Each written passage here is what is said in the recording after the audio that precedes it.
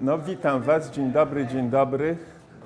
Według mnie jest 17.20, nawet się zbliża 21, więc zacznijmy punktualnie.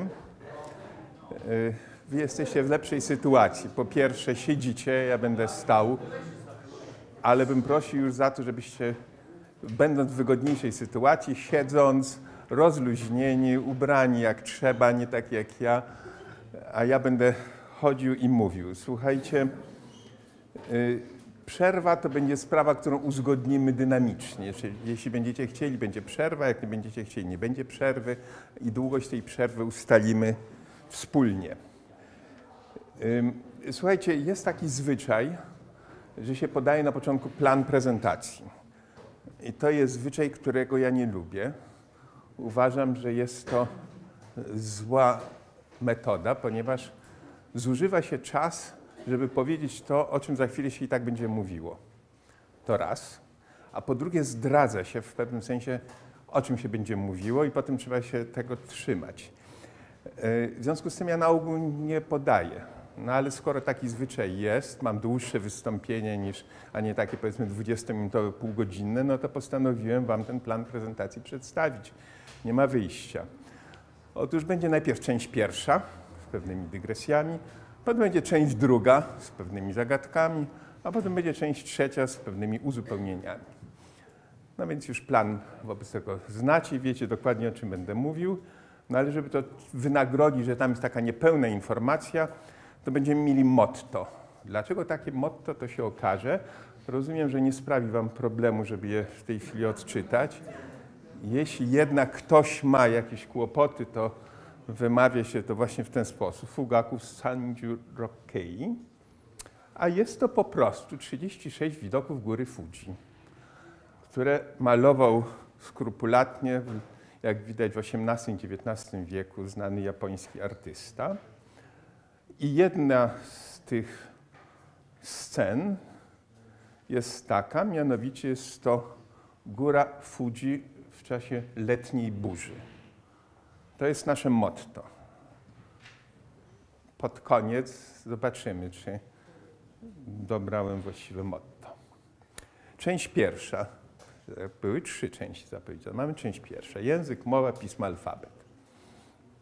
No więc Słuchajcie, wiadomo, że takie odwieczne potrzeby człowieka to jest komunikowanie się. No i przez to, że człowiek się chciał, potrzebował komunikować, pojawiały się języki. Pojawiły się różne formy przekazu informacji na odległość. Druga taka odwieczna potrzeba to było liczenie, mierzenie, porównywanie i tak dalej. No i z tego narodziła się matematyka.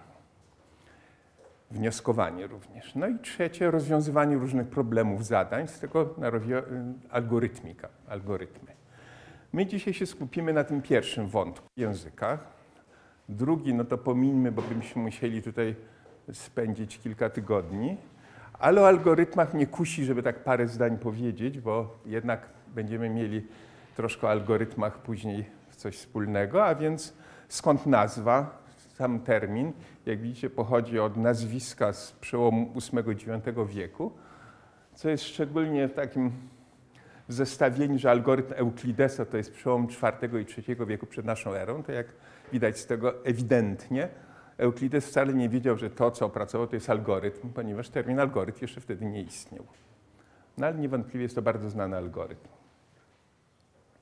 No i były bardzo różne techniki, narzędzia i urządzenia wspomagające liczenie i realizację algorytmów, poczynając od najbardziej naturalnych, czyli dłoń ludzka, palce, poprzez różnego rodzaju proste urządzenia, czyli różne formy liczydeł, które w różnych krajach miały różne nazwy i różne odmiany, nawiasem mówiąc, gdzie niegdzie jeszcze są stosowane, poprzez takie bardziej wyrafinowane urządzenia, które można w muzeum zobaczyć, jak tak zwane pałeczki napiera, no i potem się pojawiły suwaki. Suwaki to jest urządzenie, które każdy student Politechniki musiał opanować biegle, które swego czasu były jakie, takie dawane, jak teraz się daje pendrive gdzieś na konferencji na pamiątkę, to przy tym się dawały suwaki. No a teraz suwaki niestety już, niestety czy stety, trudno powiedzieć, ale zniknęły. No i kalkulatory. Kalkulatory bardzo różnej postaci, od tak zwanych kręciołków, gdzie było mechaniczne trzeba było wysiłek fizyczny wykonać, poprzez elektryczny w różnych wersjach. No ale to, to była taka, tak jak mówię, dygresja. Teraz wrócimy do swojego podstawowego tematu, czyli języki. No więc e, języki, pismo, mowa, alfabet. E, Tutaj możecie pobuszować w internecie, wobec tego zobacz, znacie te współczesne definicje, my sięgniemy wobec tego znacznie dalej, jak to było przed wiekiem i porównamy, zastanowimy się, czy się coś zmieniło, czy nie. Skorzystamy tutaj z encyklopedii, która nigdy nie została ukończona. Wydawana była przez dwadzieścia kilka lat, skończyła się w czasie I wojny światowej na literze P, ale akurat tak się szczęśliwie złożyło, że w tomie 33, wydanym w 1903 roku, mamy język. No i macie w oryginalnej pisowni też, e, w, oczywiście w skrótach. To jest taka fajna encyklopedia przegadana. Tam bardzo dużo stron jest poświęconych, każde hasło jest bardzo szeroko omawiane, a więc język w znaczeniu lingwistycznym, językoznawczym, w znaczeniu mowy ludzkiej. Nazwa ta stosuje się pod wpływem przenośni, w znaczeniu całej czynności, w znaczeniu procesu i całości mówienia. No ale oczywiście skąd się to pojawiło? Pojawiło się wtedy, kiedy język w ustach ludzkich umieszczony stał się istotnie głównym narzędziem wymawiania. Jako, że w pierwocinach ludzkości, kiedy wymawianie było umiejscowione głębiej, przeważnie w krtani, trudniej mogłoby się dokonać podobne rozszerzenie nazwy języka. Co więcej, to nie jest tylko w polskim, w języku polskim słowo język ma te różne znaczenia, to jest właściwie w wielu innych językach również e, no, to samo uogólnienie. Język był, właściwie rozumiany jest wielorako, na przykład jako mowa. Skojarzenie nazwy języka jako głównego narzędzia wymawiania z nazwą języka jako mowy ludzkiej jest widoczne wyrażenie. Zauważcie, że to są przysłowia, które się ciągle stosuje, a ja je cytuję z encyklopedii 1903 roku. Czyli wtedy już były znane, to jest, ja tylko fragment ich podaję, to jest cała długa lista. Okazuje się, że większość, większość się nie zmieniła. No i teraz mamy pokazane również, jak mogą być różne wersje języka, dialekty, yy, języki narodowe i tak dalej, jak również w najszerszym znaczeniu, czyli mowa ludzka w odróżnieniu od mowy innych zwierząt. pismo. No, z literą P był taki problem, że do niej encyklopedia nie doszła. W związku z tym nie mogłem zacytować, co pod słowem, pod hasłem pismo podaje. Niemniej w tym haśle język się pojawia. Między innymi takie stwierdzenie, że język w najobszerniejszym znaczeniu tego wyrazu, znaczeniu przenośnym, oznacza wszelkie sposoby porozumiewania się, a więc wszelką mimikę i gesty, to właśnie tak się wtedy mówiło, nie gesty, język palców itp., pismo, język znaków, głosy mimowolne i odruchowe. Ciekawy jestem, jakie to są głosy odruchowe, mimowolne, no nieważne. No i teraz mamy abecadło, ostatnie. Z haseł tu bardzo prosta definicja. Abecadło, obacz, alfabet, obacz, abecadło. No abecadło, zbiór wszystkich znaków i oczywiście zaczyna się od języka polskiego ABC z przyrostkiem dło, no a dalej, jak widzimy, jest stwierdzenie, że rzeczywiście dawniejsza nazwa od greckiego alfabet, alfa, beta. No to spójrzmy sobie na przykłady alfabetów. Takich jest mnóstwo różnych. Tutaj podaję Wam kilka. Mamy i grecki, i rosyjski, i gotyk, łaciński, arabski. No i mamy również tutaj graffiti. To świeci, świeci, tylko anemicznie świeci. Możemy sobie spojrzeć na alfabety w innym tego słowa znaczeniu. Prawda? Mamy i Braille'a, Morsa, flagowy, ten. No i jak widać, dla głuchoniemych, słuchajcie, okazuje się, jest kilka języków, są różne wersje narodowe, międzynarodowe, to, to jest olbrzymi problem, jak się okazuje. Mamy alfabety inne również. Z jednym będziemy troszkę mieli jeszcze na ten temat będziemy coś mówili. To jest tak zwana hiragana japońska, alfabet sylabiczny. No i różne alfabety na wesoło. Też buszując, buszując w internecie, co zapewne potraficie robić niezwykle biegle, znajdziecie dużo ciekawych rzeczy, jeśli chodzi o alfabety. Jaka z tego jest konkluzja? Że w pewnym sensie pojęcie języka, pisma, mowy, alfabetu właściwie się nie zmieniły. I język szeroko rozumiany obejmuje mowę i pismo, natomiast dopiero rzeczywiste pojawienie się pisma, czyli możliwość przekazywania informacji zapisanej, a nie tylko ulotnej słowem, y, spowodowała rzeczywisty rozwój cywilizacji. No i było z tym mnóstwo różnych problemów. O niektórych sobie porozmawiamy, o niektórych, jeśli będziecie zainteresowani, to można mnóstwo źródeł znaleźć i poczytać. No to właśnie przejdziemy teraz szybciutko do części drugiej. Y, Japończycy zrobili straszny błąd dawno temu. Mianowicie mniej więcej w III-IV wieku zaczęli przystosowywać pismo chińskie do swojego języka mówionego.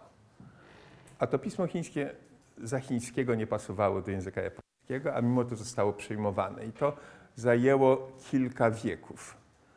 No i powstał w związku z tym niezwykle skomplikowany system, którego pewne przykłady Wam pokażę. Rdzeniem podstawowym pisma japońskiego są ideogramy zwane kanji, czyli te takie typowe znaki chińskie. Ty, tych znaków jest dużo. Japończyk kończący szkołę musi znać około 2000 tych znaków. Gorzej, każdy z tych znaków jest charakteryzowany dynamicznie.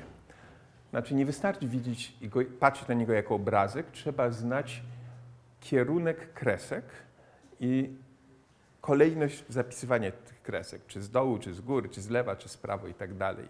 Są znaki, które się różnią tym, więc ten znak i ten znak to są dwa różne znaki. Różnią się tylko tym, że właśnie tu jest z dołu w górę, a tu z góry w dół. No ale trzeba o tym wiedzieć.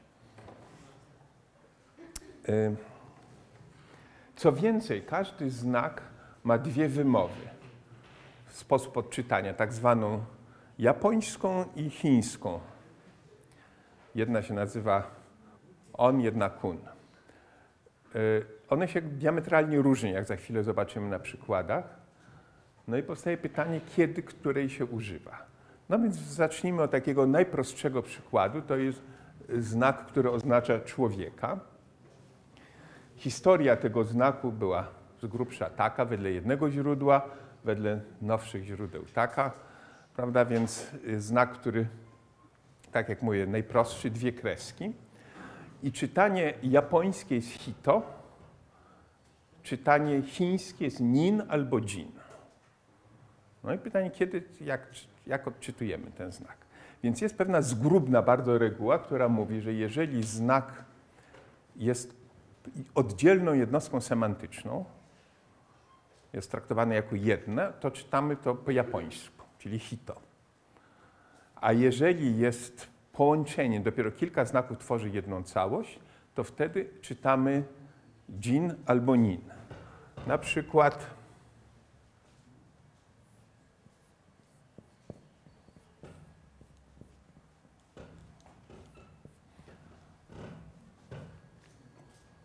to się czyta Nihonjin, jeśli nie pomyliłem. Pisownia może pomyliłem, wobec tego lepiej nie patrzcie.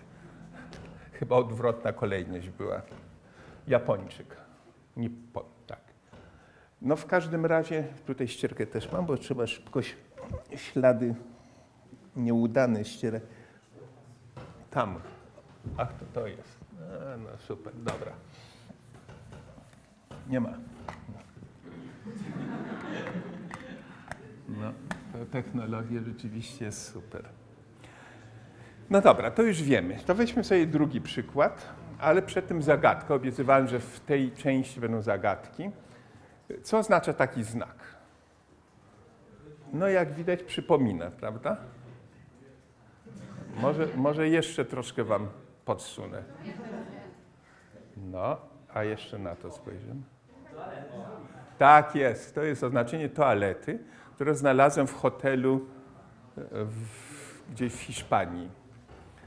Nie wiem, czy, czy twórca tego, tych znaków się jakoś opierał na znakach kanji, ale niewątpliwie jakieś podobieństwo jest. Dobrze, no to teraz mamy znak duży. To jest bardzo łatwo zrozumieć jego pochodzenie. Człowiek z rozpostartymi rękoma, prawda? No i czytania japońskie to jest oki, a chińskie tai albo dai. No i teraz czas na zagadkę numer dwa. Mianowicie, jak te dwa znaki złożymy razem, no to zagadka, której jeśli patrzyliście w materiały, to już przestała być zagadka, dlatego byłem niezadowolony, że dostajecie. Duży człowiek, prawda? No a czytania pamiętamy. Tai dai oki, ninjin hito. Więc co oznacza? Oznacza dorosły. No, właściwie logicznie, nie? A czyta się otona. Co jak gołym okiem widać, nie ma żadnego związku z tai dai oki, ninjin hito. No dlaczego się tak czyta? Skoro pojedyncze znaki mają inną wymowę. No bo w języku japońskim istniało słowo otona dla oznaczenia dorosły. Jak popełniwszy ten błąd przyjęli znaki chińskie, no to wybrali, że te dwa najlepiej oddają duży człowiek. No one mają taką wymowę, no to niech sobie mają, a czyta się to otona, tak jak przedtem. To pokazuje złożoność zagadnienia, już poważnie mówiąc. Trzeba, kończąc szkołę, tak jak mówiłem, trzeba mieć opanowanych około 2000, szkołę podstawową 1200, ogólną około 2000 tych znaków. Ponad 20 kresek mają znaki najbardziej złożone. Trzeba znać kolejność pisania każdej kreski, jak mówiłem. Znać te wymowy. One tutaj widzicie są po trzy warianty, niekiedy tych wariantów jest więcej. Domyślać się, jakie jeszcze składać razem. Koszmar. Ale to niestety nie wystarcza, ponieważ znaki kanji w języku japońskim służą tylko do rzeczowników, do rdzeni czasowników, do przymiotników. Nie nadają się do odmian, przyimków i tak dalej, których w języku chińskim nie ma, w japońskim je są. Wobec tego trzeba było dodać jeszcze dwa alfabety sylabiczne, te, które właśnie pokazywałem przedtem, tak zwaną hiraganę i katakanę, które są już prostsze, to jest zaledwie po 50 znaków każdy. I to dopiero wszystko razem tworzy system pisma. Nieprawda, to jeszcze mało jest, bo pojawiają się jednak zapisy w alfabecie łacińskim, pojedyncze słowa i pojawiają się niekiedy cyfry arabskie, mimo że są używane też cyfry japońskie.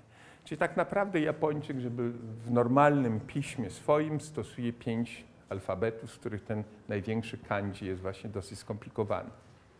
No i teraz parę przykładów. Jeszcze mamy górę, Wiadomo dlaczego, no bo tak była historia powstawania tego znaku. Możemy sobie spojrzeć na taką ilustrację.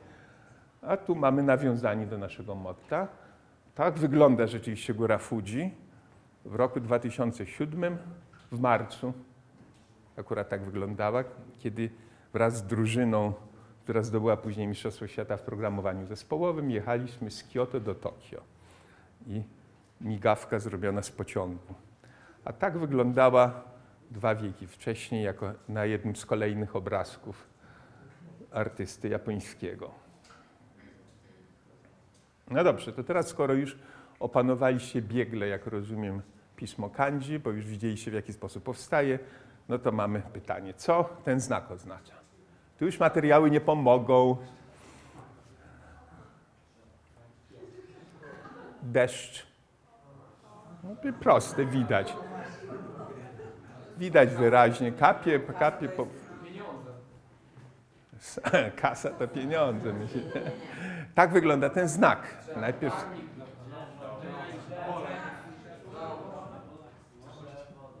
parasol. Ale zauważcie, jeszcze, jeszcze tu zauważcie pewną złożoność. Otóż y, ten znak tu i ten znak tu nie są takie same, a oba są legalne. Oby, Czyli nie dość tego, co mówiłem, ile znaków jest, to jeszcze niektóre znaki mają swoje bardziej uproszczoną wersję i pełną wersję. I tu jak spojrzeć, to to są ludziki, prawda? Ludzie siedzący pod parasolem. Więc żeby nie było wątpliwości. Dobra?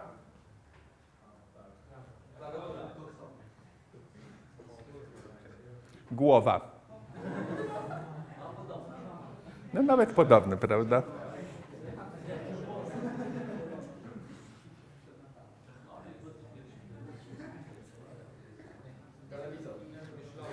Myślałem, że ktoś powie, że głowa po byciu fryzjera, tak, albo coś takiego.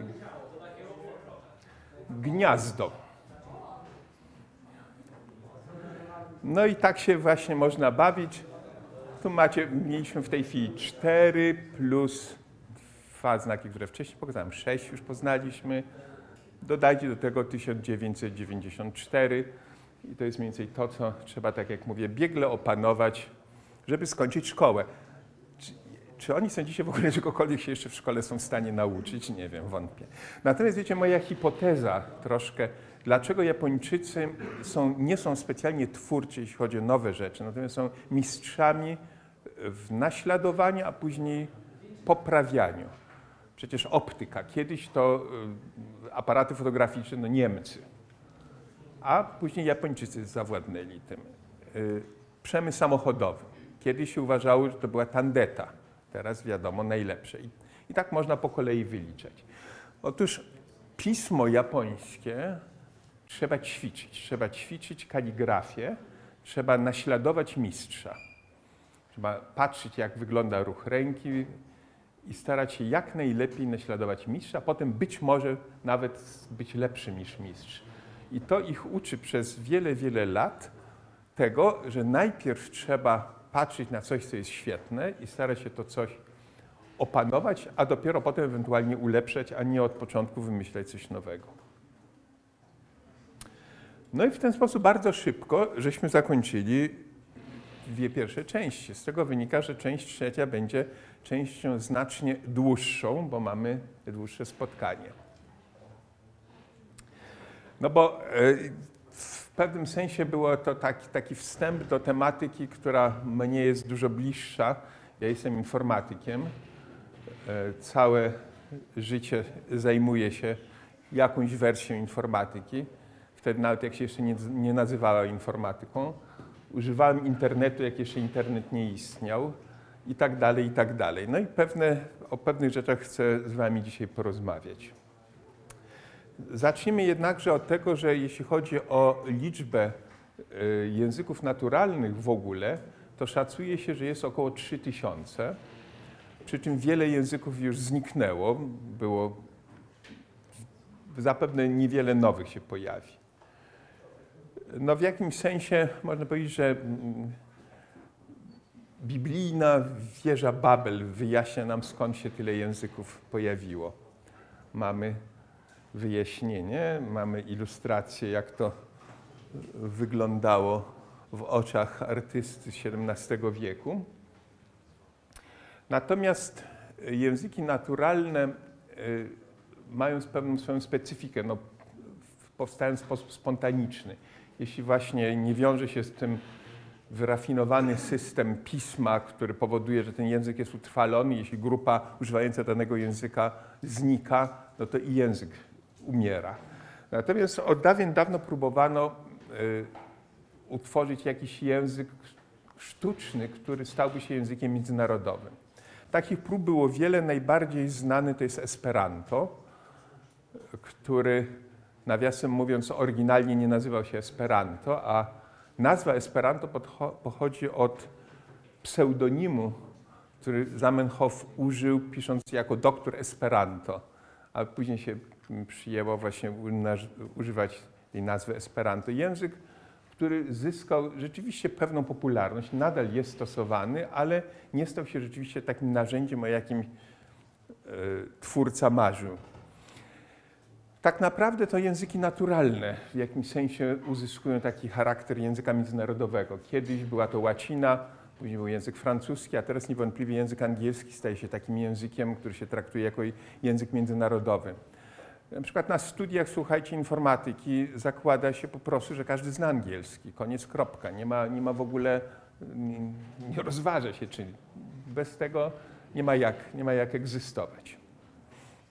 No jest wiele właściwie takich języków naukowych, które, e, które sobie zdajemy sprawę, że to jest język bądź nie. No, język matematyki, ma to być język logiki. Kiedyś oglądałem taki ciekawy projekt w Niemczech, to była próba pomocy niewidomym.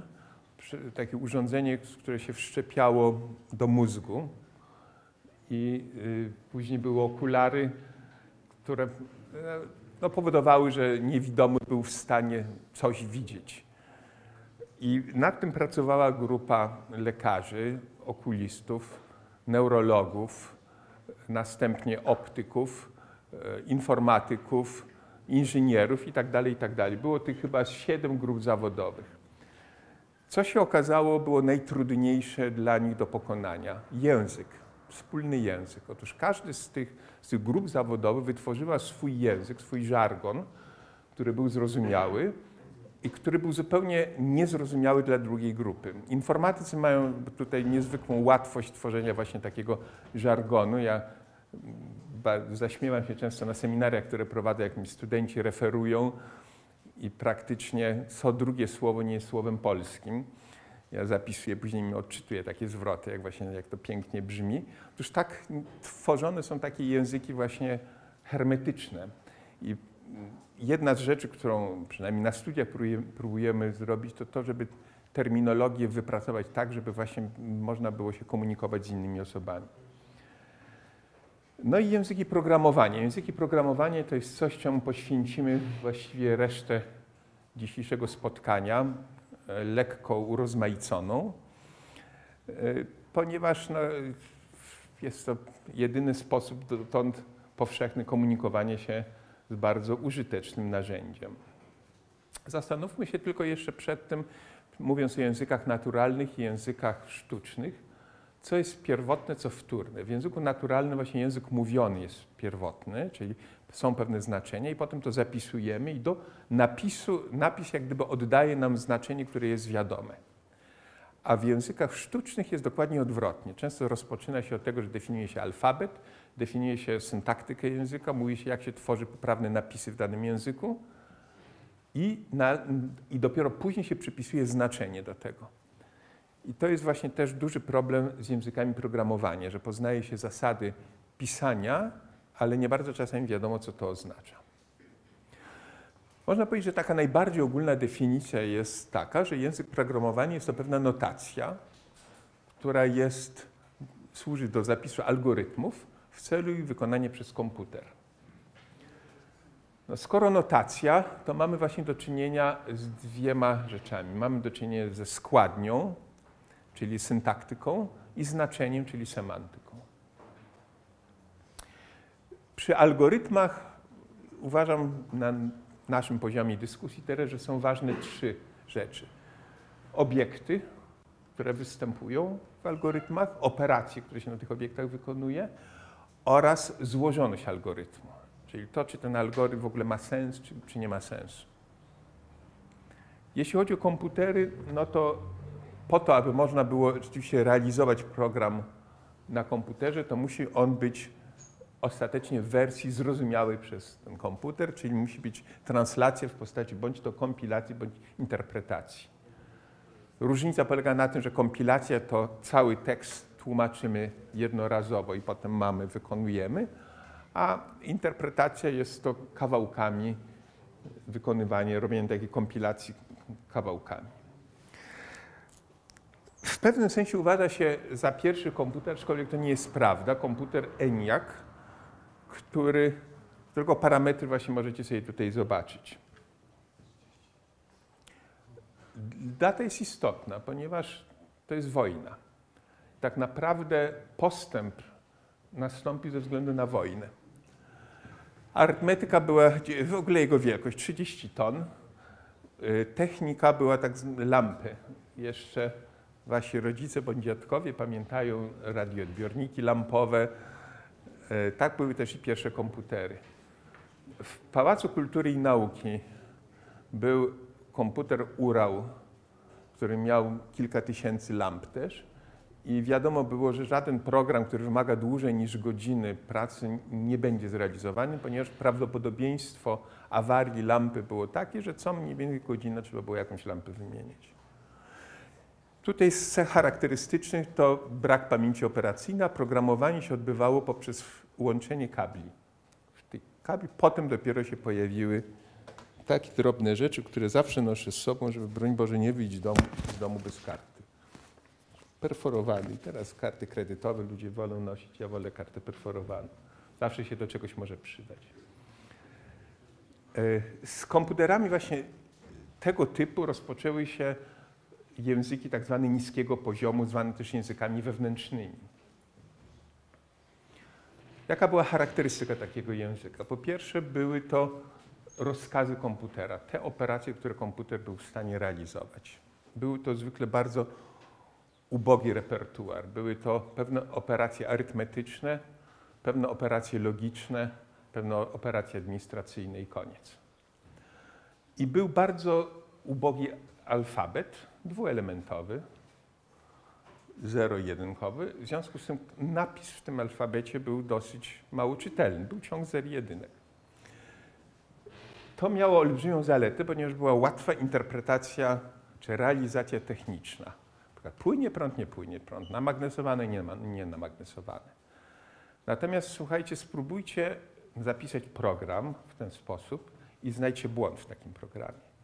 Macie po prostu ciąg zer jedynek, no, czasami litościwie podzielony na odcinki pewnej długości, na przykład po 40-42 zer jedynek i następnie taki kilka tysięcy takich wierszy i znajdźcie błąd w takim programie.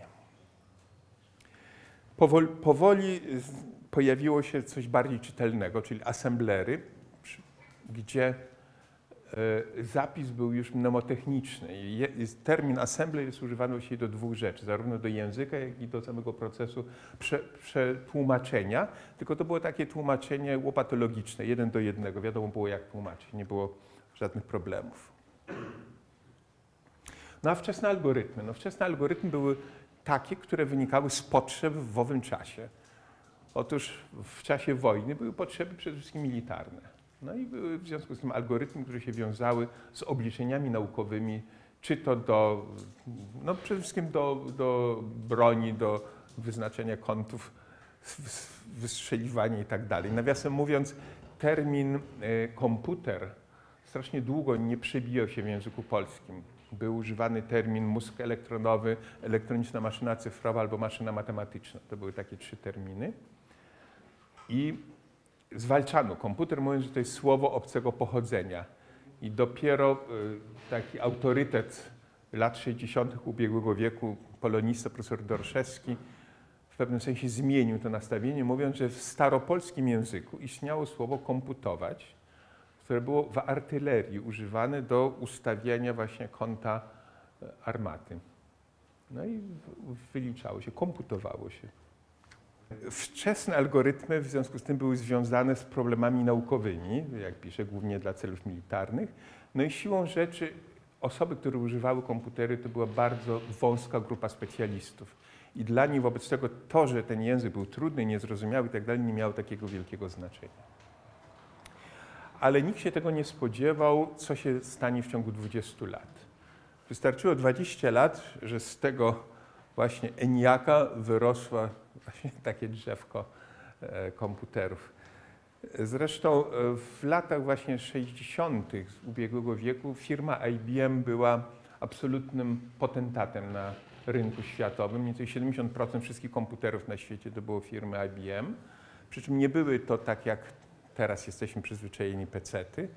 IBM w którymś okresie się specjalizowało w komputerach, które się nazywało mainframe, czyli dużych komputerach, do których były podłączane terminale.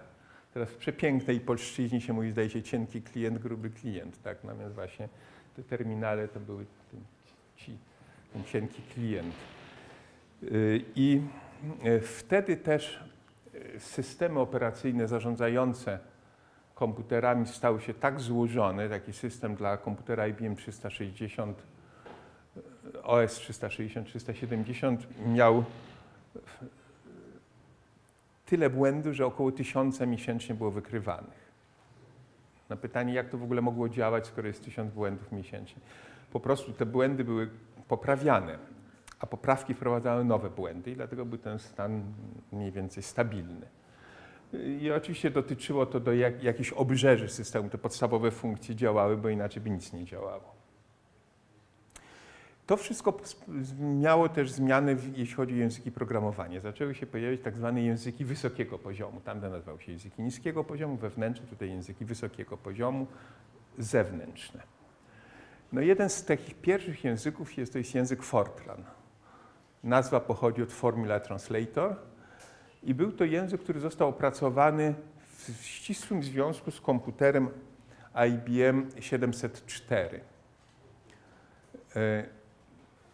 W tym języku konstrukcje oddawały konstrukcje rozwiązania techniczne tegoż komputera, co było o tyle ważne, że znalazło to odbicie na przykład w instrukcjach e, rozgałęziających. No w szeregu instrukcjach się znajdowało właśnie odbicie tego, co było w komputerze 704. Było to wobec tego takie podejście bottom-up po angielsku, czyli po polsku występujące z dołu w górę. Głównym autorem tego języka uważa się Johna Bakusa, który w tych latach na tym pracował i wtedy powstała notacja, która miała skrót BNF i była zwana Bacchus Normal Form, czyli taka e, no, formalna metoda opisu też języka. No i Fortran, mimo że tak stary język, okazuje się, że ma ciągle krąg wielbicieli, zwłaszcza wśród fizyków. No i powstają jego kolejne mutacje, łącznie z Fortranem 2003. Oczywiście te najnowsze wersje języka nie mają nic wspólnego z oryginalną wersją języka. To są dwa różne światy. Y, w pewnym sensie rewolucja nastąpiła w roku 60, kiedy się pojawił język o nazwie Algol 60. Naprawdę to była taka poprawiona wersja języka Algol 58, i zauważcie, że skrót nazwy, nazwa pochodzi od skrótu Algorithmic Language, język algorytmiczny. Czyli jest to inne już podejście. W tej chwili nam chodzi o to, że myślimy o algorytmach, a nie o komputerze. Myślimy o algorytmach i chcemy mieć notację, która pozwoli nam zapisywać algorytmy. Jakie algorytmy? No właśnie takie algorytmy, jakie, w tym czasie były używane, znane. Więc były to zwykle znowu obliczenia naukowe wobec tego, co było potrzebne w języku. No, były potrzebne w języku liczby, wartości logiczne, były potrzebne liczby całkowite, liczby niecałkowite, zwane rzeczywiste, były potrzebne macierze, a więc pojawiło się pojęcie tablicy, array, właśnie po to, żeby macierze można było opisywać. No i co, co potrzebne? No, wy, wyliczać wyrażenia arytmetyczne, w zależności od pewnych warunków wybierać drogi i w zależności od pewnych warunków wybierać powtórzenia. I to była tak właściwie taka kwintesencja języka. Tutaj mamy podejście top-down, czyli stępujące, bo zaczynamy właśnie, patrzymy na język do opisu algorytmów, a komputer nas w ogóle nie obchodzi. W związku z tym można powiedzieć, że wersja wzorcowa języka Algol 60 to jest język specyfikacji algorytmów. To jeszcze nie ma nic wspólnego z językiem programowania, rozumianym w ten sposób wykonywalnym. Mamy, mamy język do opisu algorytmów i w nim nie było żadnych operacji wejścia-wyjścia na przykład. No i w związku z tym się pojawiły tak zwane konkretne realizacje, czyli wersje algolu zrobione na konkretne komputery, powiązane z kompilatorem, które dopuszczały różnego rodzaju modyfikacje. Pewnych rzeczy nie było, pewne rzeczy były inaczej zapisywane i tak dalej, po to, żeby to było, żeby można było napisać kompilator właśnie na dany język, na, na dany komputer. Takim komputerem, który no, można nazwać, byłby takim kalkulatorem podręcznym, był komputer duński GIR Wyglądał, słuchajcie, jak szafa trzydrzwiowa. Bardzo ładne takie drewno duńskie, duńskie, skandynawskie meble są bardzo ładne i to było właśnie w tym stylu. Jakie były parametry tego komputera? Pamięć operacyjna wynosiła 1000 słów 42-bitowych. 1024 słowa 42-bitowe, 4 kilobajty pamięć operacyjna. Do tego był bęben 12800 słów 40, 320 ścieżek, 4, każda ścieżka 40 słów, każde słowo 42 bity, razem 60 kilobajtów. Dopiero później ten bęben został zastąpiony przez dysk, ale przez długi okres bęben był podstawą. Otóż przy takiej pamięci był zrobiony kompilator języka Algol 60, który był jednym z najlepszych na świecie. Nazywał się Giralgol. Ten y, kompilator był wieloprzebiegowy, to znaczy, w ogóle można było coś takiego zrobić, najpierw z języka Algol 60 przechodziło się na języki pośrednie i ostatecznie język w kodzie wynikowym w assemblerze komputera GIR był zapamiętywany właśnie na tym bębnie. Pamięć operacyjna była w ten sposób wykorzystywana, że u góry były, było zarezerwowane miejsce na dwie ścieżki. No i na bębnie były właśnie te ścieżki. Było ściągany program do pierwszego miejsca, fragment programu, rozpoczęta realizacja tego programu. Język Algol 60 był językiem dynamicznym. Instrukcja mogła również deklarować zmienne. Mogła być blokiem, który deklarował zmienne. To był rzadki ewenement, w Pascalu już tego nie ma. No więc właśnie tutaj zaczynały się deklaracje zmiennych. Zmienne były od dołu pamięci, a program od góry. Kolejny fragment programu był wprowadzony do tej świętego miejsca. Być może znowu jakieś zmienne były deklarowane. Kolejny fragment programu był już w miejsce dla niego niepewne. No i tak sobie tutaj zjeżdżał program w dół, dane w górę, aż się zderzały. Jak się zderzały, to trzeba było rozwiązać problem. To było tak rozwiązywane, że program się wycofywał rakiem, czyli musiał być z powrotem przerzucany na bęben ten fragment. Tylko tu miał ten swój święty obszar, który był już dla zmiennych nietykalny. Była to innymi słowy, słuchajcie, realizacja pamięci wirtualnej w oparciu o stronicowanie, tylko że takie terminy w ogóle nie istniały wtedy jeszcze. One się pojawiły dużo później.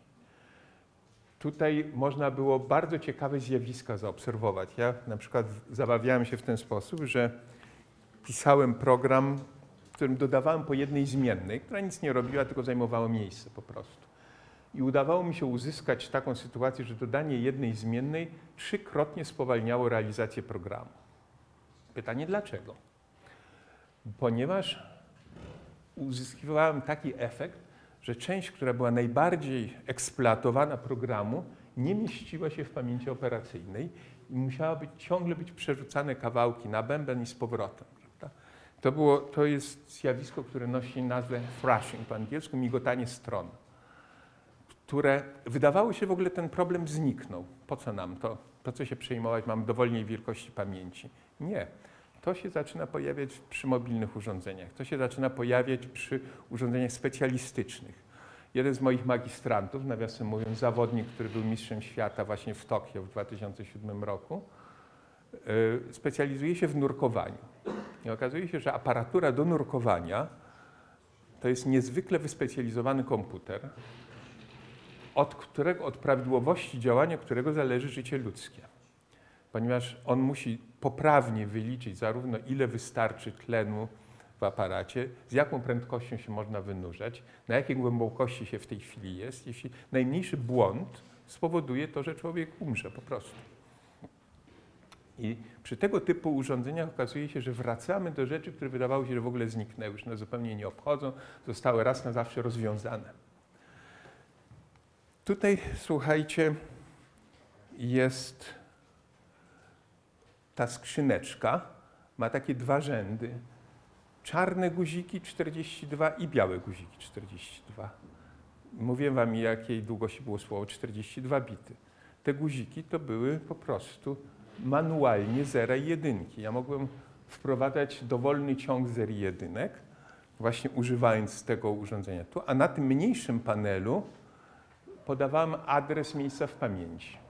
I w ten sposób mogłem programować na absolutnie najniższym poziomie abstrakcji, jak sobie można wyobrazić, ponieważ wprowadzałem ręcznie ciągi zer jedynek do dowolnych miejsc pamięci, do dowolnych rejestrów. Do tego mi służył ten panel na dole, a ten na górze właśnie mogłem te zawartości zmienić.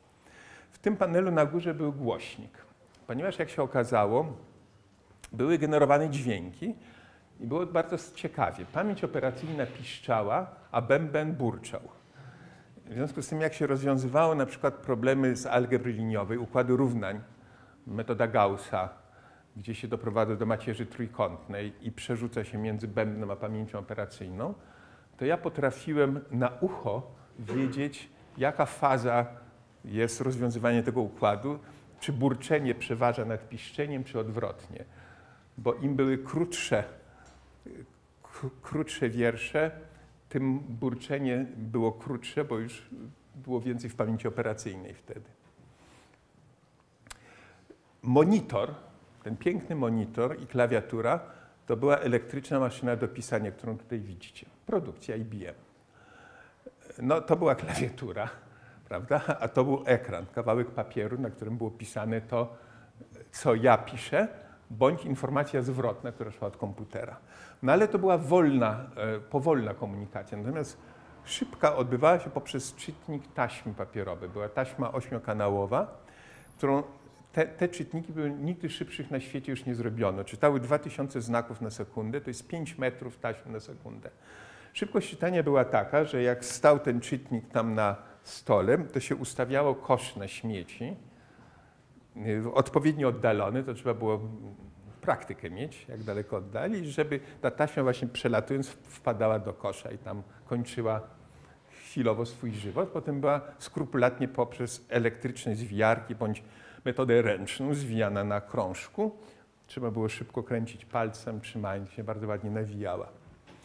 Z tyłu była szafa przeszklona, taka biblioteka. I to była prawdziwa biblioteka procedur, ponieważ procedura był to krążek taśmy, który sobie leżał w szafie, był odpowiednio oznakowany. Jak mi był potrzebny w trakcie realizacji programu, przerywałem w proces wczytywania tej taśmy. Trzeba było taki specjalny kody dać, tak zwany stop kod, który powodował zatrzymanie się taśmy. Oczywiście to nie było takie zatrzymanie raptowne, bo jest 5 metrów na sekundę.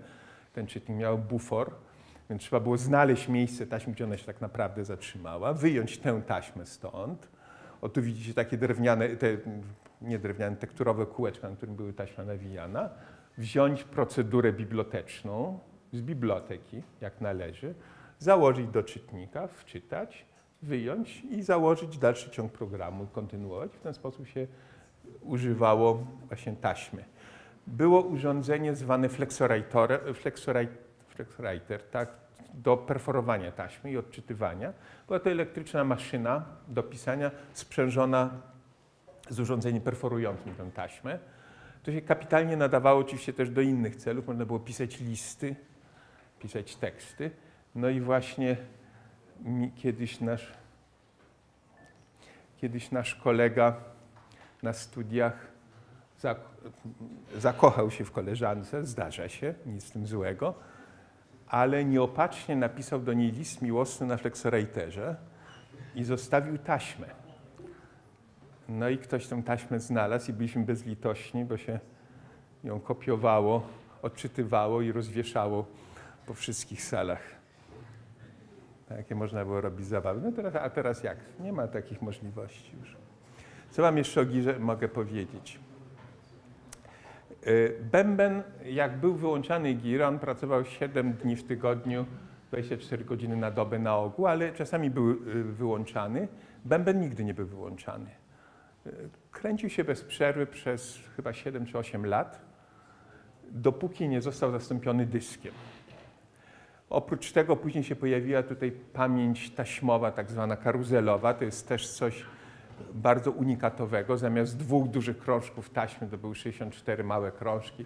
Tarcza się obracała i te małe krążki się odczytywały. Takie bardzo fajne urządzenie. Jeśli ktoś wnikliwie spojrzy na to zdjęcie, to może coś skojarzy. Ale to było raptem ile? 40 lat temu. Tak? No dobrze, języki wysokiego poziomu ciąg dalszy. Język Fortran, język Algol były to języki nastawione na obliczenia techniczne, jak mówiłem, naukowe. A więc koncentracja była na y, wyrażeniach, na tym, jak konstruuje się wyrażenia, oblicza wartości itd. Natomiast pojawiła się potrzeba zupełnie innego podejścia, gdzie się przetwarza dużą ilość danych. I do tego celu powstał właśnie język o nazwie COBOL. Uważa się, że główną twórczynią tego języka była Grace Mary Hopper, która była rzadki przypadek. Kobieta była kontradmirałem amerykanki wojennej USA. I o, nim, o niej chodzi właśnie takie powiedzenie, że termin bug powstał właśnie wtedy, kiedy ona znalazła prawdziwy, pierwszy prawdziwy baga. Za, za chwilę zobaczycie obrazek, ale musicie chwileczkę poczekać na to. Natomiast co można powiedzieć o tym języku? Tutaj ten język był tak przegadany. E, idea była taka, żeby nie trzeba było specjalnej wiedzy i umiejętności, żeby się nim posługiwać. W związku z tym był to język angielski, jak gdyby w specjalny sposób okrojony. Nawet na operację plus minus nie pisało się znakami plus minus, tylko się pisało add, minus, multiply i tak dalej. E, w tym czasie też się pojawiła bardzo ciekawa rzecz, mianowicie język do list processing, LISP, czyli język, którego później wyrosły też języki funkcyjne. I jednym z głównych autorów był John McCarthy. Nawiasem mówiąc, to był człowiek, który odbył chyba pierwszy taki historyczny mecz szachowy pomiędzy Stanford a Moskwą się odbywał gdzieś tam w latach 60. Już wtedy takie konkurencje były.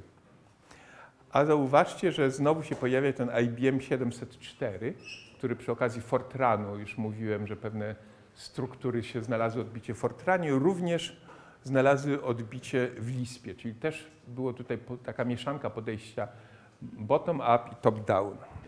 No to teraz już pokażę Wam ten bug. Otóż to jest kopia z prawdziwego zapisu w książce błędów. Przy każdym komputerze była taka.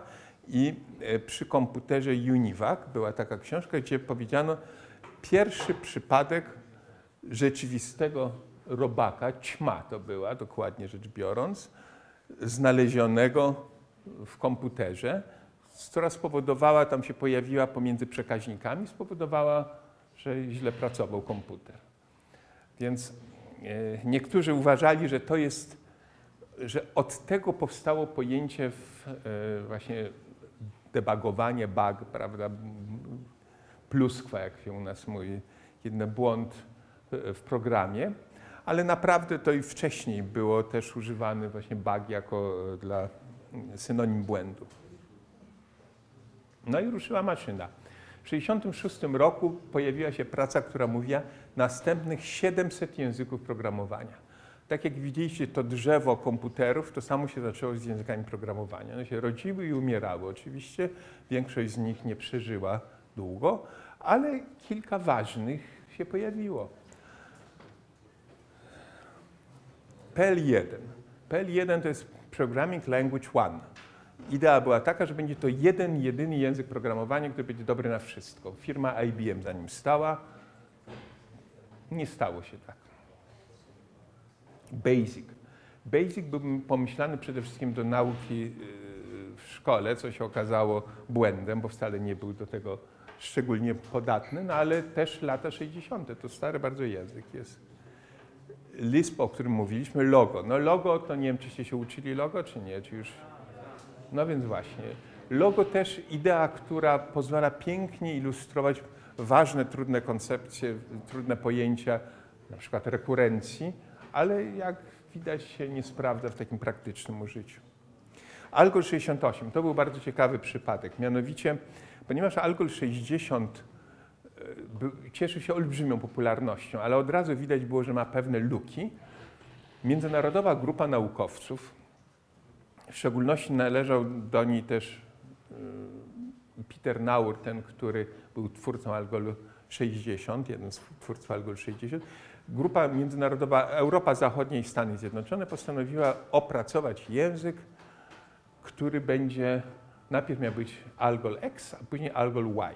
Algol X, X miał być takim szybkim następnikiem Algolu 60 po to, żeby najbardziej zauważone usterki tego języka poprawić, a Algol Y miał być już językiem, który będzie jedyny w przyszłości dla wszystkich zachwyci. W końcu te dwa języki się zlały w jeden, który miał być na początku Algolem 67, ale się nie udało i w końcu Algol 68, czyli rok 1968 został w czasie kongresu w Edynburgu yy, takiej Międzynarodowej Federacji Przetwarzania Informacji ogłoszony. No i słuchajcie, język się okazał absolutnie nietrafny.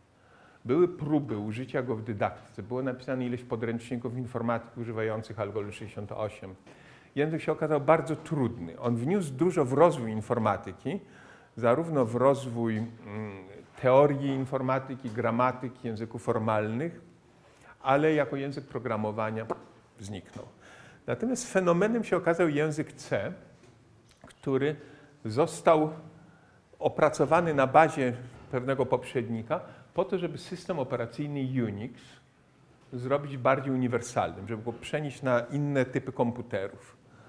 No i C był pomyślany jako język zrobiony przez programistów dla programistów i zupełnie przez przypadek stał się nagle fenomenem, że jest ciągle używany, a zwłaszcza w różnych wersjach późniejszych jak C++. O Pascalu będziemy oddzielnie mówili. Ada to jest też przykład takiego języka, który miał bardzo silne poparcie. To była e, Ministerstwo Obrony Stanów Zjednoczonych ogłosiło konkurs na język programowania, który będzie obowiązkowym standardem we wszystkich zastosowaniach militarnych w Stanach Zjednoczonych.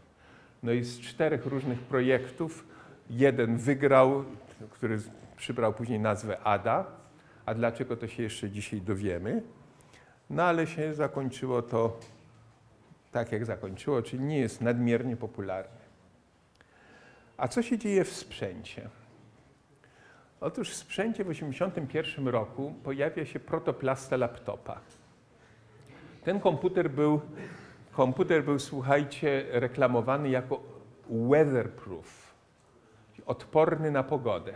Po zamknięciu było takie zdjęcie pana uśmiechniętego w garniturze, idzie w deszczu czy w śniegu i macha ręką z tym komputerem. To musiał być kulturysta, dlatego, bo ten komputer waży 20 kilo ja go mam, więc stąd wiem. To nie jest, nie jest hipoteza, tylko właśnie.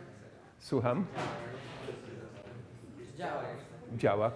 No nie używam go teraz, ale działa to jest, powiedziałbym, w ogóle małe słowo. Słuchajcie, to było absolutny cud techniki, ponieważ w pewnym sensie miał parametry tak jak ten komputer Gear. E, były ośmiobitowy, Maleńki ekranik to była jego wada, ale można było do niego podłączyć monitor zewnętrzny. Y, dysków twardych nie miał, bo w ogóle nie, o, o czymś takim się nie mówiło jeszcze wtedy, to było gdzieś tam w laboratoriach. Dyskietki pięciocalowe, akurat były tak zwana nowa generacja, czyli już nie pamiętam ile, ale w ogóle śmieszne parametry. Ale co ciekawe, miał świetne oprogramowanie miał CPM, system operacyjny, miał bazę danych dobrą, arkusz kalkulacyjny, dobry edytor tekstu i miał dobre kompilatory języka Pascal. W ogóle rewolucja, jeśli chodzi o kompilatory języka Pascal, to był mniej więcej rok tak około 80. Przed tym pojęcie kompilatora to był, słuchajcie, strasznie kosztowny produkt, na którym pracuje bardzo dużo osób, płaci się mnóstwo pieniędzy za to. I nagle się okazuje ogłoszenie, że oto firma jedna sprzedaje kompilator języka Pascal wraz z podręcznikiem i dyskietkami. Normalnie podręcznik, książka około 40 dolarów kosztowała. Dyskietki były po 5 dolarów. A ten kompilator z podręcznikiem i dyskietkami kosztuje 29,95. No więc zupełny szok.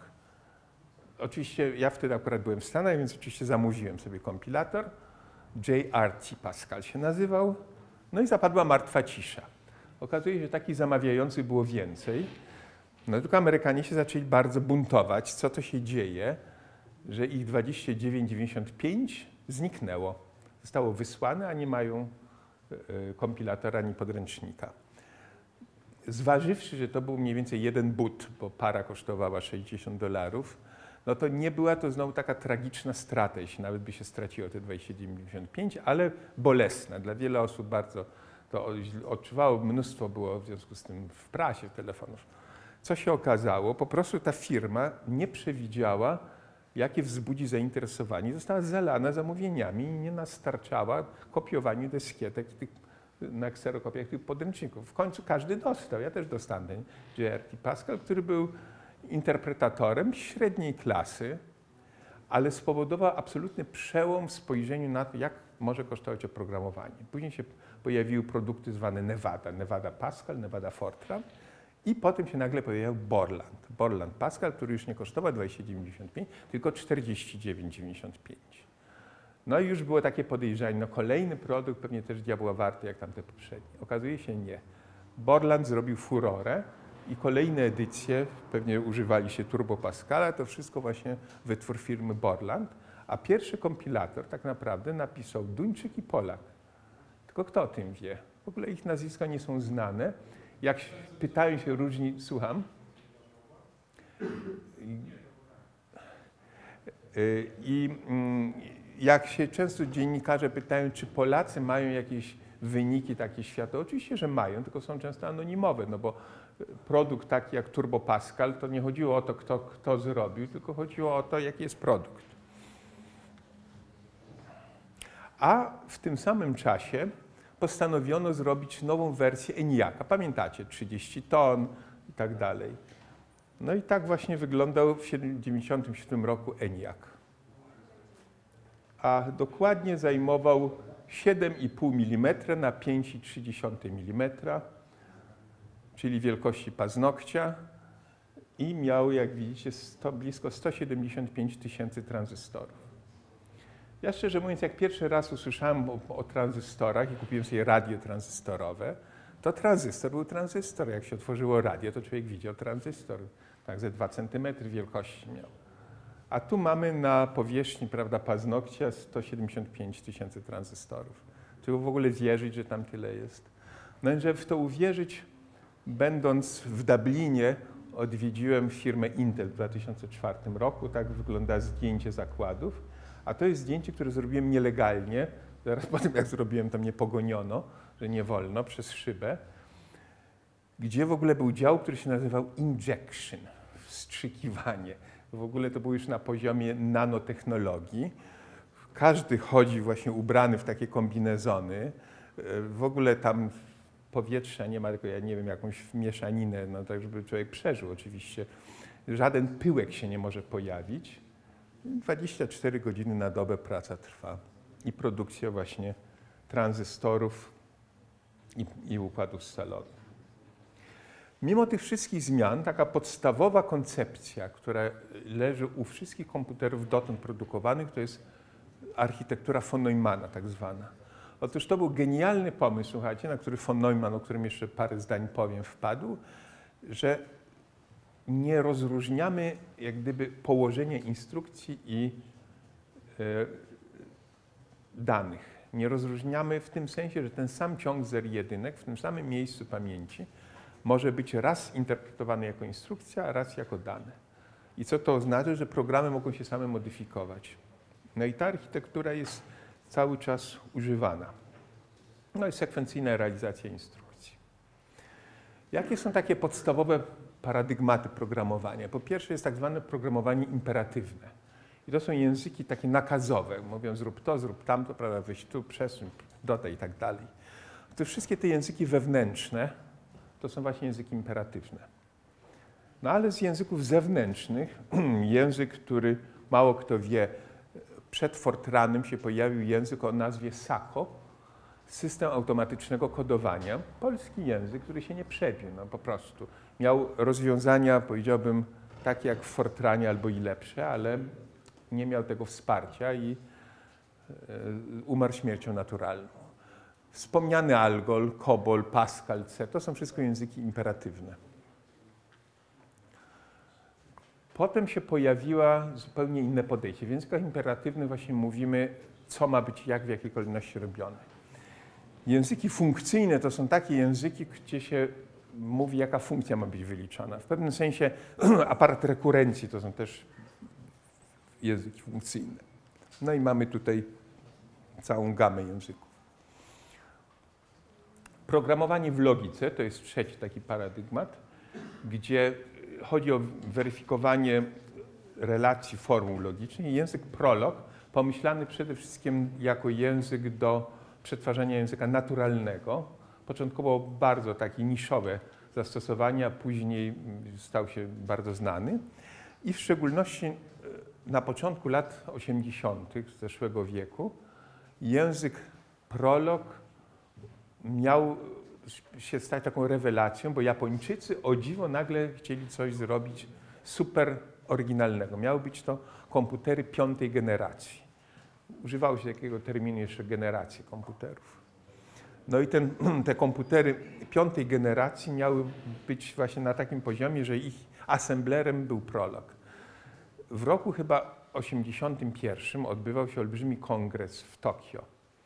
Miałem przyjemność na tym być i jeden z tematów, który był chyba trzeciego dnia, to miała być właśnie prezentacja komputerów piątej generacji rozwiązań. No, wszyscy się na to strasznie szykowali. Tam było z 1000-2000 osób na duży kongres. No i co, co zrobili sprawni Japończycy? Po pierwsze, przed tą sesją zrobili lunch, na którym lało się piwo w dowolnych ilościach.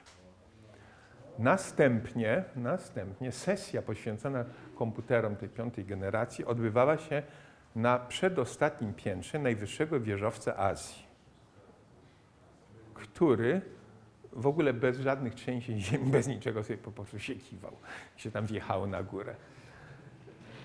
Po trzecie, wystawili jako mówcę Japończyka, który mówi z częstotliwością jedno słowo co pół minuty mniej więcej.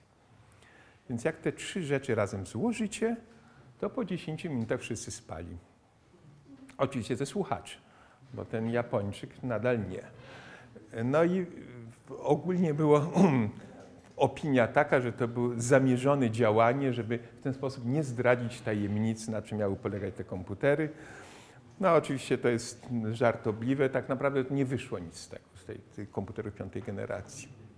No niemniej jednak do sztucznej inteligencji właśnie ten prolog jest używany, ma zresztą, są e, różne inne języki na bazie prologu budowane. No i to, co jest w pewnym sensie rewelacją, to jest programowanie obiektowe. Słuchajcie, na czym tam właściwie polega cała idea, można powiedzieć? Po pierwsze na pojęciu obiektów, które nie widzimy, co jest w środku. Jeżeli mamy takie obiekty, z nich coś budujemy, tylko mamy dobrze określony interfejs, jak to razem łączymy, to dzięki temu uzyskuje się taką sytuację, że my to wnętrze możemy wymienić na inne równoważne, a całość nadal dobrze funkcjonuje. Czyli nam nie wolno zaglądać do środka. I to jest tak zwany information hiding, information hiding principle, którą e, taki znany informatyk amerykańsko-kanadyjski, bo oryginalnie był Amerykaninem, ale się obraził i zmienił obywatelstwo na kanadyjskie. David Parnas wymyślił w 70 latach i y, w szczególności właśnie, że każdy e, obiekt ma swój sekret. To sekret jest, jak to jest zrealizowane w środku. Językiem, który jest protoplastą C++, jest język o nazwie Simula 67. Czyli już w roku 1967, a jeszcze na, nawet w 1965 wcześniej, pojawił się język, w którym, w którym było już pojęcie klasy, pojęcie dziedziczenia. Tyle, że ten język był pomyślany jako język do symulacji, jako rozszerzenie Algolu 60 i w pewnym sensie nie dostrzeżono tych jego cech. Za wcześnie się to pojawiło. No a potem ruszyła znowu cała maszyna. Mamy tam też swój polski wkład, język Loglan, który był na moim uniwersytecie rozwijany przez jakiś czas, ale przymarł. Smalltalk to jest taki bardzo znany, no C++ i Delphi. Delphi, czy jak Amerykanie wymawiają Delphi, to tak naprawdę miał się nazywać Borland Pascal 8. Ale to był czas, kiedy Pascal zaczynał już tracić swoją popularność i w związku z tym e, twórcy uważali, że jak zmienią nazwę, to, to będzie korzystne i stąd nazwali to Delphi a naprawdę to się VBK. E, oryginalnie nazywał VBK. Skrót Visual Basic Killer, czyli język, który miał spowodować, że język lansowany przez Microsoft Visual Basic zniknie. E, miałem to o tyle tutaj szczęście, że e, uczyłem kiedyś przez dwa lata w Stanach, w Kalifornii. Jeden z moich studentów, niezwykle zdolny chłopak, Właściwie studiował tylko wtedy, kiedy ja tam byłem, później był moim pomagierem. Jak ja już zakończyłem swój pobyt, to on doszedł do wniosku, że nie ma sensu już być dłużej na uczelni, skoro mnie już tam nie ma. No i założył swoją własną firmę i kupił sobie Turbo Pascal, no i miał ciągle problemy, jak i wydzwaniał tam do Borlanda. No i po jakimś czasie zaproponowano mu pracę w Borlandzie, żeby odpowiadał na te pytania, które przedtem sam zadawał. Taka była bogata lista, skoro już zna odpowiedzi, to może on być tym odpowiadającym. No i rzeczywiście tak się stało. Został, mm, zaczął pracować na początku jako właśnie w tym hotline, jako pomagier, a z czasem doszedł do tego, że został szefem wszystkich produktów Pascalowych w tej firmie i jest głównym twórcą właśnie Delphi.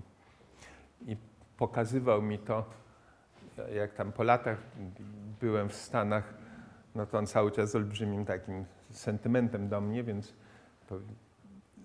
zaprosił mnie do, do niego do domu w Santa Cruz, taka piękna miejscowość. Napisał mi przy tym pamiętaj, my master bedroom is your bedroom. No rzeczywiście, jak poprzednio tam u niego mieszkałem, oddał mi swoją główną sypialnię, sam się przeniósł do pokoju gościnnego. My car is your car. Faktycznie dał mi swój samochód, sam jeździł na rowerze. My bank account is your bank account. Faktycznie, jeśli miałem jakiekolwiek potrzeby finansowe, oczywiście starałem się tego nie nadużywać, to mogłem korzystać. I ostatnie zdanie było My wife is your wife. Ale, ale tu zaraz było w nawiasie I am not married right now, bo się właśnie rozwiódł. Także był niezwykle rzeczywiście taki um, wdzięczny. E, no i on mi pokazywał, pokazywał, kiedy Delphi było fazie absolutnego top secret, prawda? Nie wolno było ujawnić, dlatego, bo konkurencja mogłaby się o tym coś dowiedzieć. Jak słuchajcie, długo potrafią takie związki trwać? Ja go uczyłem w roku 80 81. Dwa lata temu był pierwszy raz w życiu w Polsce i mieszkał u mnie, czyli po blisko 30 latach. Jesteśmy cały czas w kontaktach też. Era Pascala. Słuchajcie, to jest absolutny fenomen era Pascala, o którym mam skończyć a propos, bo ja wolę wiedzieć, ponieważ inaczej będziemy nocować. E, uwzględniając to, macie bonus, bo nie było przerwy, to za 15, za 10 siódma? No dobrze, za 10 siódma. Będę pilnował. Niklaus Wirth, bardzo ciekawa postać. Słuchajcie, Szwajcar, który spędził trochę lat e, w Stanach i on był pierwszym człowiekiem, który wpadł na pomysł, żeby honorować znanych ludzi poprzez nazywanie języków ich nazwiskami. I to był język Euler. Właśnie. E, potem, jak była próba nad tymi językami, co wam mówiłem, Algol X, Algol Y, no to on był jednym z projektantów, tam nie wyszło. W końcu on sam opracował Algol W, czyli od Wirth, który był jak tak naprawdę praojcem Pascala. Jest właśnie rok 71. Mamy PL1, który firma IBM lansuje. Mamy Algol 68, który IFIP lansuje. Mamy wiele innych prób i nagle w czasopiśmie naukowym Akta Informatika okazuje, ukazuje się opis języka Pascal, zaraz potem kompilator, napisany przez jednego człowieka, bez żadnego wsparcia instytucjonalnego i ten język zdobywa świat, absolutnie. Poczynając od tego takiego początkowego dla celów dydaktycznych w Stanach, poprzez absolutnie cały świat i na dowolny typ komputerów. Był to strzał w dziesiątkę, który odpowiadał potrzebom w tym okresie związanym e, z badaniem poprawności programów. Łatwość kompilacji. Zostały usunięte pewne złe konstrukcje z Algolu 60. Stał się, tak jak mówię, światowym standardem w edukacji, ale nie tylko w edukacji. Okazuje się, że trafił też do przemysłu. No, programowanie strukturalne, poprawność to były takie cechy istotne. No, Turbo Pascal, Portland Pascal, Delphi, o tym mówiliśmy, ale potem mam jeszcze jeden przykład. W końcu, na początku lat 90. koło Toronto była budowana elektrownia atomowa w Darlington. To jest taki teraz, wiadomo, czuły punkt. Otóż to była pierwsza elektrownia w Kanadzie, która miała systemy sterowane całkowicie software'owo systemy tak zwane shutdown, czyli wyłączające elektrownię w razie jakiejkolwiek awarii. I y, kiedy, kiedy przyszło do tego, żeby ją przyjąć, no to wtedy były pewne wątpliwości, czy te systemy są poprawne, ale to jest na inny temat. Musiałbym z wami tutaj spędzić następne półtorej godziny. Ale o co mi chodzi? Jeden z tych systemów był napisany w Pascalu właśnie. Czyli tak ważne zastosowanie był użyty język Pascal. Programowanie współbieżne. Nie wiem, czy już mieli taki wykład o programowaniu współbieżnym? Niektórzy tak, niektórzy nie. To ja w takim skrócie bardzo powiem. Słuchajcie, jak mamy normalne programowanie, problem poprawności programu sekwencyjnego. Jak wykazać, że on jest poprawny? Bardzo trudne zadanie. Ale jak mamy procesy współbieżne, mamy pewną liczbę takich programów, to nie dość, że każdy z nich musi być poprawny, to jeszcze ich współpraca musi być poprawna, co stwarza olbrzymie problemy synchronizacji i komunikacji. No i są takie klasyczne sytuacje, tak zwany deadlock, blokada, zakleszczenie, polegające na tym, że jeden proces ma jakiś zasób i potrzebuje innego i czeka, a drugi ma tamten, trzyma go w ręku i potrzebuje tego i czeka. I czekają oba na, na zdarzenie, które nigdy nie zajdzie. Otóż w systemach operacyjnych, właśnie tych bardzo trudnych, pojawiały się tego typu problemy. Wykrycie ich było, było niezwykle skomplikowane. Zagłodzenie to jest inna sytuacja, kiedy mamy kilka procesów i wszyscy się uwzięli, że jednego nie będą dopuszczali do żłobu. No, nie dadzą mu y, pewnych zasobów. Inne sobie się dzielą, a ten jeden jest traktowany po macoszemu. Ścieżka krytyczna. No, mamy ileś torów i nagle jest zawężenie, jest jedno torowisko. I to jest ta ścieżka krytyczna. Naraz może być tylko jeden pociąg, prawda, jeden proces. Jak ustalić zasady, kto ma prawo, kiedy ma prawo, jak mieć gwarancję, że na przykład jak się zepsuje pociąg na tej ścieżce krytycznej, to że to nie spowoduje całkowitego zatrzymania ruchu. No a to znajduje zastosowania w naszym codziennym życiu. Sieci, protokoły, to wszystko by nie istniało, gdybyśmy, działanie poprawne nie istniało, gdybyśmy nie rozwiązali już pewnych problemów. No i tutaj du dużo można mówić o różnych mechanizmach modela, ale w szczególności w językach programowania są języki, które specjalnie są nastawione na rozwiązywanie tych problemów. I również język Pascal miał swoje rozszerzenie Concurrent Pascal, którego autor był nieżyjący już niestety Duńczyk Per Brink Hansen, który całą swoją karierę informatyczną zaczął dzięki Polsce, a dokładnie dzięki zakładom azotowym w Puławach gdzie był następca komputera GIR, prototyp komputera RC4000 użyty, ale o tym Wam innym razem opowiem, albo nigdy nie opowiem. E, jaka era teraz? No Pascal niestety mówię, bo miałem, słuchajcie, dwa języki programowania, które były moimi językami naturalnymi. Jak się budziłem w nocy, to najpierw mówiłem w Algolu, później w Pascalu, a teraz, teraz zostaje już tylko wspomnienia era e, Java, bądź Java, jak ktoś woli, no to z czego to wynika? Po pierwsze, paradygmat obiektowy. Okazuje się, że to jest ten zwyciężający paradygmat, ponieważ pozwala atakować poważne problemy i rozwiązywać duże, trudne zadania. Jest to uproszczona, zmodyfikowana wersja, przenośna wersja języka C++, który był bardzo popularny. Oryginalnie ten język się nazywał OAK, i już w 1992 roku w firmie Sun Microsystem przez Jamesa Koslinga był opracowany Java, nazwę Java przejął w 1995. No i jej wyróżniki no to są właśnie niezależność od sprzętu, systemu operacyjnego itd., tak itd., tak możliwość, no to sami wiecie dobrze pewnie.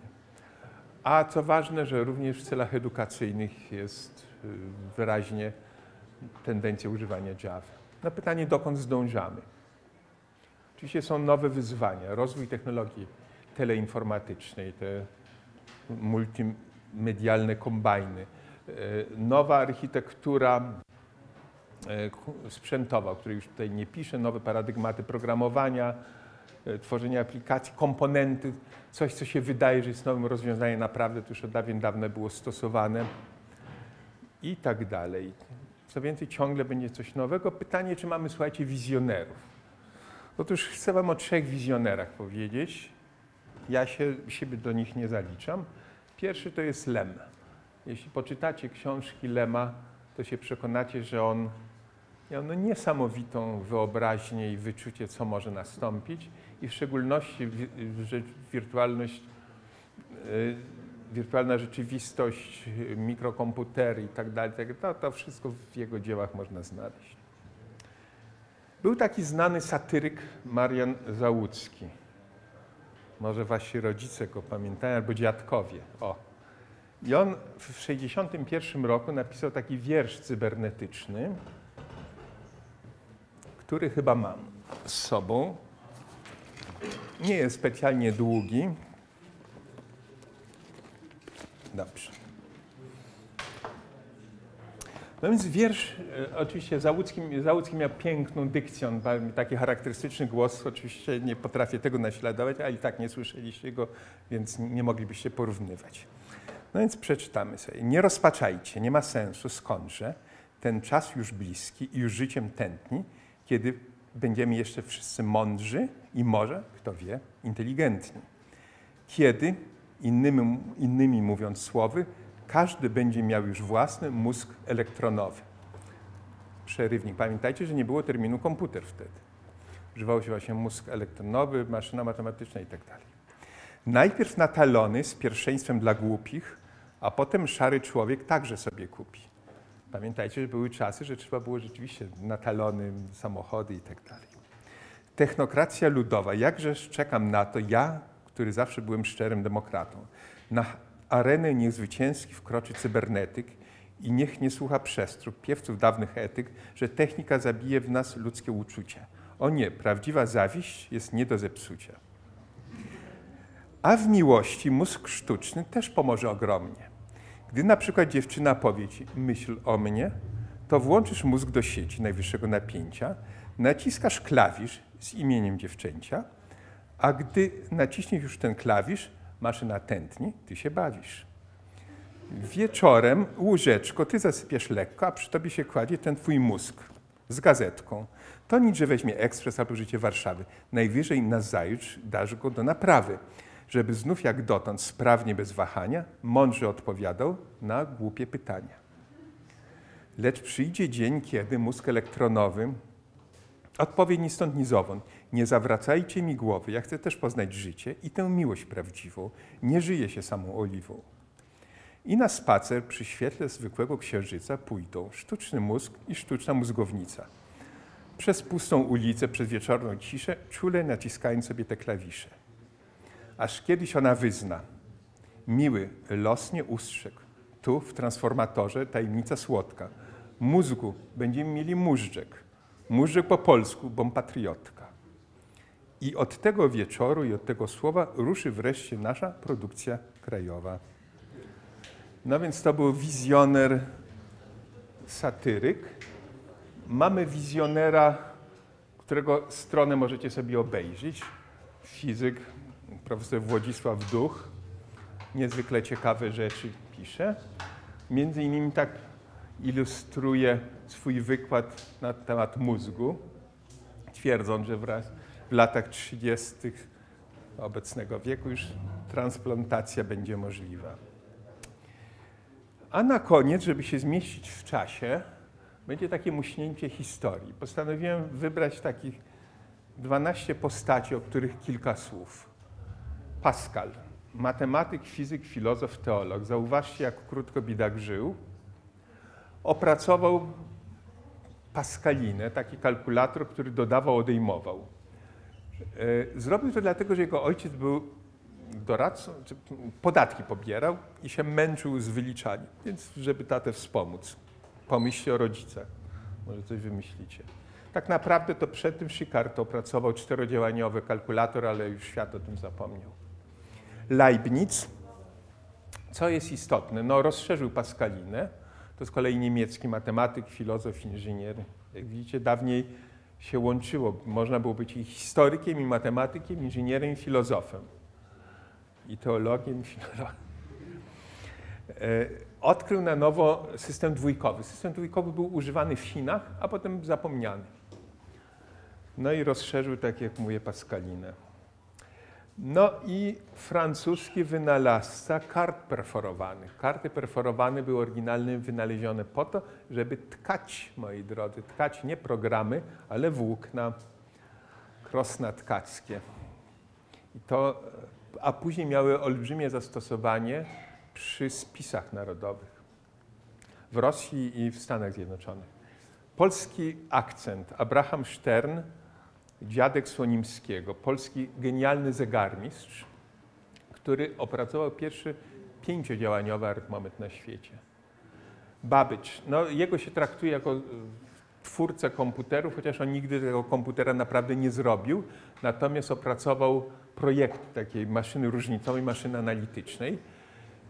Tym się bardzo zajęła córka Byrona, Augusta Ada, zajęła bardzo skrupulatnie, także zrobiła pierwsza, podała obliczenia liczb Bernoulliego, używając właśnie hipotetycznego komputera, bo nie został fizycznie zrobiony, dopiero później. I jest nazywana pierwszą programistką świata. I język Ada był właśnie nazwany dla uczczenia jej. Ból.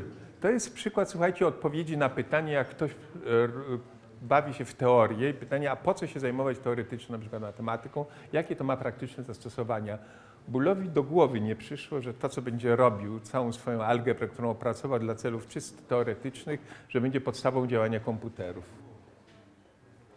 Hollerith, y, to y, wspominam go dlatego, że on właśnie doprowadził do tego, że spisy ludności w Stanach, Kanadzie i w Rosji były przeprowadzone poprzez właśnie używając kart perforowanych mechanicznego systemu. No i kolejny polski akcent, Jan Łukasiewicz. Y, Notacja beznawiasowa, kalkulatory niektóre HP do ostatniego okresu, kiedy były produkowane, właśnie korzystały z y, logiki, z notacji beznawiasowej. Odwrotna notacja polska tak zwana. No i logika trójwartościowa. Tu dla przykładu, że czasami się kogoś docenia, kto zrobił rzeczy też w informatyce, bo dostał później Nagrodę Nobla.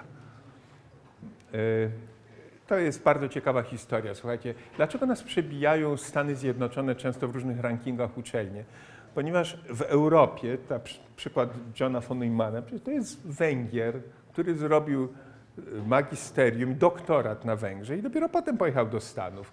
A teraz się mówi Amerykanin węgierskiego pochodzenia. No, w Stanach to on był chyba jedną piątą swojego życia. No, potem zmarł tragicznie na raka niestety. I on ma dwa olbrzymie osiągnięcia, jeśli chodzi o informatykę. System binarny zamiast dziesiętnego w komputerach i wspomniana architektura, o której wam mówiłem. No i strasznie tragiczna postać Alan Turing, który pomysły jego dotąd, przecież maszyna Turinga to jest model, model prawda, teoretyczny komputera. Genialny człowiek, no, który niestety ze względu na swoje predyspozycje seksualne został wsadzony, zmuszony do, zmuszony do leczenia e, i popełnił samobójstwo po prostu. Nie, nie był w stanie znieść tego. No i w ten sposób udało mi się o minutę wcześniej, bo miałem za 10, a jest za 11, siódma dokończyć. Chcę Wam tylko jeszcze pokazać troszkę źródeł. E, Bardzo ciekawa książka Alfabet, czyli Klucz do dziejów ludzkości. Wielka, gruba, gdzie jest mnóstwo ciekawych rzeczy. E, Wielka encyklopedia, o której wspomniałem, przerwana na haśle Patroklos. No i tak dalej. I bardzo, bardzo wiele witryn y, internetowych. A byłem zobowiązany, żeby pokazać ostatni slajd, który wiąże się z naszym projektem. I na tym kończymy nasze spotkanie. Dziękuję Wam bardzo.